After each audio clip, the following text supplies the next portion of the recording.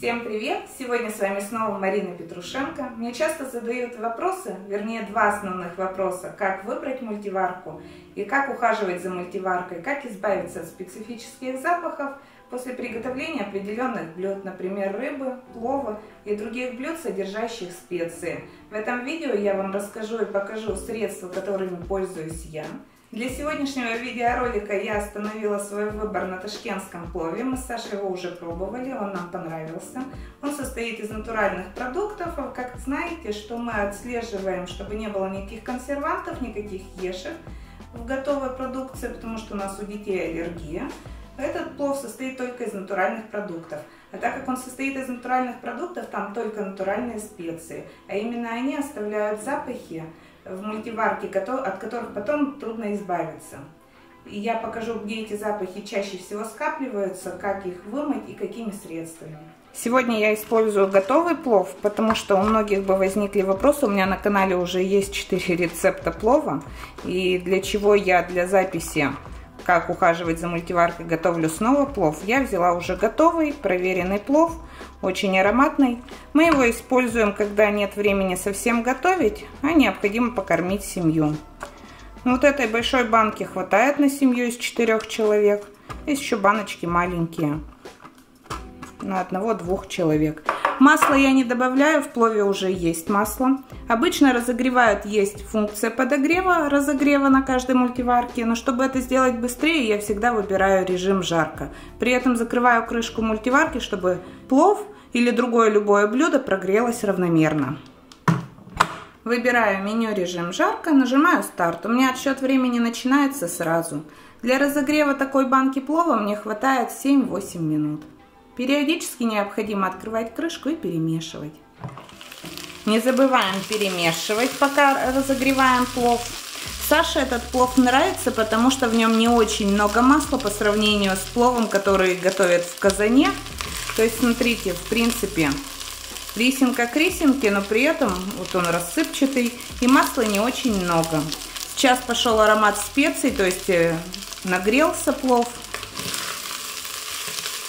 Кто-то скажет, что хватит 3-5 минут разогрева, но рис твердоватый, когда вы его пропарите именно 7-8 минут, он достигнет той консистенции, которой должен содержать плов. Хватит есть. Расскажу вам о средствах, которые я использую. Во-первых, это мыло, которое нейтрализует запахи.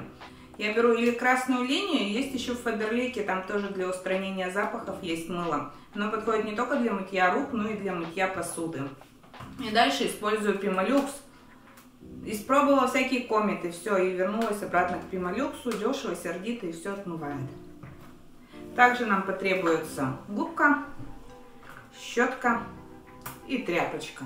Итак, где чаще всего сохраняются запахи? Я вообще, когда первая мультиварка у меня была, я, помню, приготовила плов, а после него варила рисовую молочную кашу. И у меня потом вся каша пахла специями от плова. У меня никто ее, конечно, есть не стал. Теперь я знаю, где необходимо обязательно отмыть. Чаша, ну это понятно, отмывают ее все. Но многие забывают про внутреннюю крышку. Кто-то протирает ее просто. Но вот это вот силиконовое кольцо, вот этот вот прорезиненный, так сказать, силикон, он впитывает очень запахи. И обязательно после приготовления всех блюд необходимо его мыть. И не просто мыть там водой и средством для мытья посуды, а именно средство, устраняющее запахи. Далее, когда мы готовим, у нас через крышку пара выходят сюда все запахи. Это обязательно промываем тоже. Открываем и промываем. Что мы сейчас сделаем? Пока я записываю видео, как мыть мультиварку, Сашка у меня уже половину тарелки плова съел. Итак, вернемся к средству для мытья посуды. Оно недорогое, так оно стоит около 100 рублей. Вчера по акции взяла еще одну бутылку. У нас в семье продается по 69, что очень, в принципе, выгодно. И я говорила, что фаберликовское можно средство брать. Оно чуть поменьше объемом, но цена там дороже. У кого что есть, по возможности приобрести, то и приобретать. Главное, чтобы было написано, что нейтрализует запах. Итак, хотела еще сразу остановиться на этих внутренних крышках. Вот это очень, видите, как бы на болтиках. Это очень удобно, то есть вы силикон моете, спокойно, не боясь, что он отпадет. Но есть внутренние крышки у мультиварок других.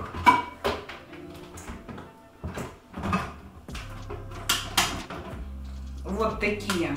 И здесь они крепятся совсем как бы более слабенько. И поэтому, когда вы будете вот эту силиконовую мыть штучку, то надо быть аккуратным. То есть все зависит от мультиварки и от внутренней крышки. Смачиваю и протираю сначала вот этим средством, устраняющим запах. Именно протираем силикон, прямо терем, чтобы вот это средство как бы впиталось в этот силикон. Потом мы его хорошо промоем. Это не реклама моющего средства, это именно то, чем я пользуюсь. Хватает мне примерно на месяц такой бутылки. Здесь 500 мл, в Фаберлике у них 250 или 300 мл. На кулинарном канале рецепты для мультиварки мы часто выкладывали обзоры еды, а также обзоры продуктов, которыми мы пользовались. Я готовила некоторые блюда в духовке. Принципе, были как положительные, так и негативные отзывы. Ну, разделились люди, кому-то нравилось, кому-то нет. Так как мы сейчас ведем интенсивно семейный канал, развиваем, мы приняли решение, что вот эти все обзоры, все рецепты не в мультиварке, они будут выкладываться на семейном канале. Сегодня на семейном канале я выложу видео, какую курицу покупаем мы, а в ближайшее время Обзор на шоколадки. Во всех внутренних крышках есть вот такие выемки. Что здесь, что здесь можете посмотреть. Здесь тоже скапливается и грязь, и запахи. Эту грязь запахами я удаляю пемолюксом. То есть просто высыпаю. Обычной губкой это не вычищается, поэтому я использую уже щеточку. И вот такими круговыми движениями очень хорошо удаляется. Пробовала обычной содой, пробовала со спиртом, пробовала с водкой, пробовала чем только не пробовала.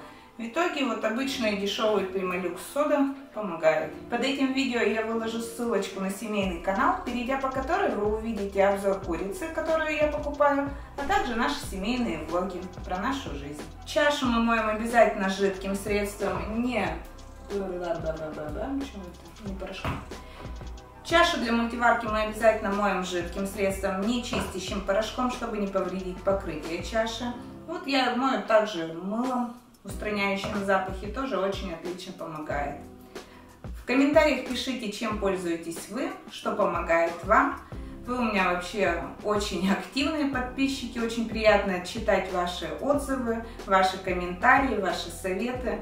Часто прислушиваюсь. Всем пока, я вас очень люблю.